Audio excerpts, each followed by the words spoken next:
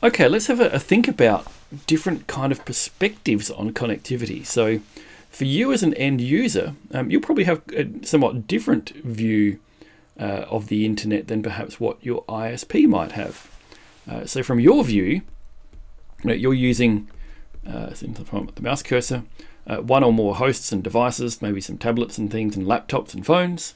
Um, they will connect through some access point into your internet service provider uh, and the means of getting there will be uh, some kind of access technology. So here in Australia, uh, where I'm based, we have the National Broadband Network, which uses a mixture of fibre optic, um, ADSL, in particular VADSL or VDSL. Uh, there's fixed wireless, uh, satellite uh, as well. Last year I was living in the outback and we were using a satellite internet connection for the whole year. or good old cellular networks. There's a bunch of access technologies that will get you from your device into your ISP.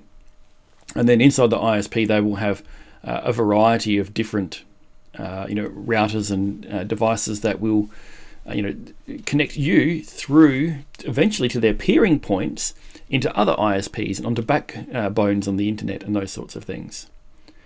Uh, and then, of course, the whole rest of the internet, from our end user perspective, is is somewhat vague in that we don't have enough information through locality, for example, to understand what's going on. And so it's kind of nebulous, the rest of the internet, uh, which again, this view, uh, you know, this, this abstraction of not needing to know how all it all works is actually one of the great strengths of the internet. Uh, and it again comes from this uh, layered network model. So if we start thinking then about network links, so there's been quite a lot of theory and theoretical work done on understanding the capacity of communications media to carry a signal uh, and working out what the maximum data speed is because everyone wants everything to go faster. Uh, so, how can you work out what the maximum speed is in particular uh, conditions on a particular medium uh, so that you can tell how close you're getting to being able to uh, uh, to the maximum? You know, how efficiently are you using that? So this comes down uh, through through um, Shannon and Hartley.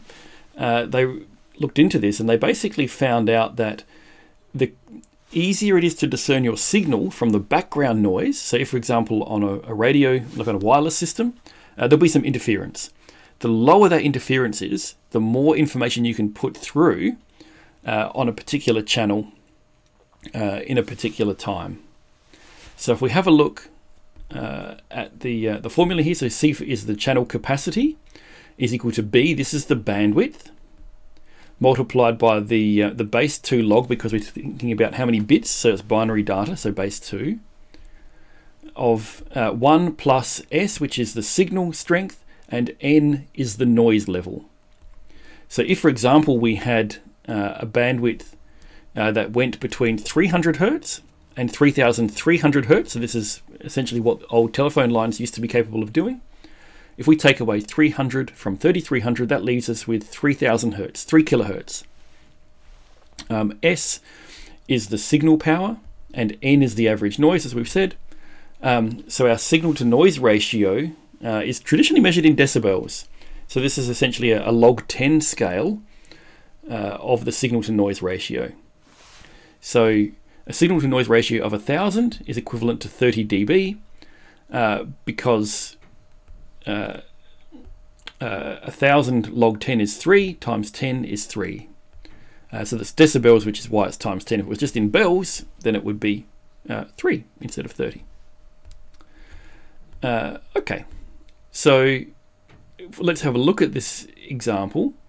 So if we say that we have a signal to noise ratio of 1000, so the signal is 1000 times larger, if we look at this on an oscilloscope or something else, uh, than the, uh, the background noise, and we have a bandwidth of 3 kilohertz, this will give us a channel capacity of 3000 uh, hertz uh, times the log 2 of 1001. So this is going to give us roughly 30 kilobits per second.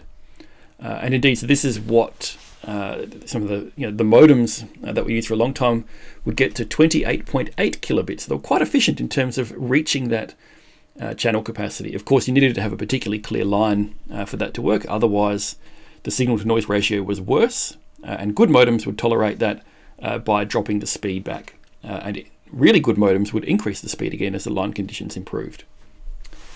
So let's have a think. If we wanted to get to 56 kilobits, we could actually work out what the signal to noise ratio would be that we would need. Um, or how much additional bandwidth we would need to have access to uh, on the line. So there's different ways that you can increase the uh, the bandwidth on a link, and uh, I'll leave it to the uh, the reader as an exercise uh, to have a, a, think through about what some uh, solutions would be that would get us to 56 kilobits. So we, we keep talking about communications links, and so it's helpful for us to actually explain what we mean by that. So really what we're talking about is some means of connecting two things. It's the link that ties them together. Uh, so in that sense, it has quite a, a, natural meaning. And then within computer networks, we tend to talk about uh, the different kinds of links. And so broadly speaking, there are those that go through free space, so uh, unguided media, uh, versus those that use some kind of guided media. So that might be uh, a copper cable, it might be a fiber optic cable. Uh, and so there is a, a variety of, uh, of different ways that we can classify out uh, these different communications links. And so we've also spoken uh, a little, we've introduced as we looked at the, um, uh, the capacity of a channel, this idea of frequency. And so this is in hertz, which means how many times per second uh, an electromagnetic wave oscillates. And there is a, um, uh, so when it does a, full oscillation, so it goes from you know uh, from say a low point to a high point and back to a low point. Um, that gap between the low points, or actually between the high points, because it's actually it's, it's equivalent, um, is the wavelength. And so if we get the speed of light divided by the wavelength, you get the frequency, or speed of light divided by the frequency, you'll get the wavelength. Um, so if we look again at uh, on a copper cable, so on a telephone cable, uh, and we have uh, at 300 hertz, so the bottom end of that frequency band that modems uh, will tend to use.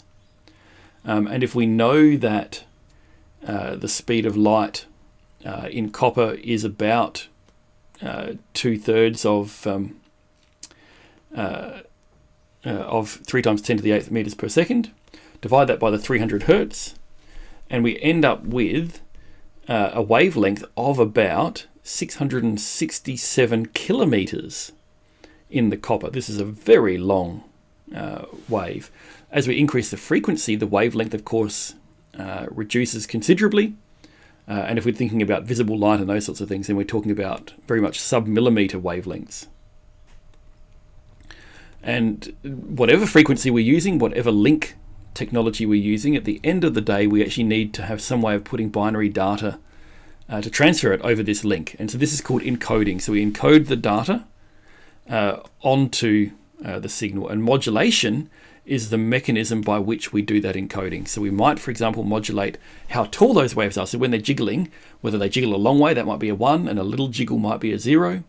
Uh, or we might change the frequency, so we change how fast it's jiggling between a 1 and a 0 uh, with two nearby frequencies. Or we might change the phase of the wave, um, or we might do some combination of these.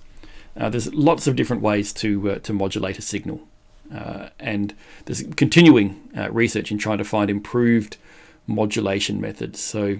Uh, one area where this is happening at the moment is looking at the next generation of emergency safety beacons that you can kind of you know turn on anywhere on the surface of the earth and have that report your location so emergency services can find you. For example, uh, if you're in a boat and the motor fails, uh, and in order to have more interesting services, like actually better communications in both directions, we need to use that very limited link budget uh, very carefully.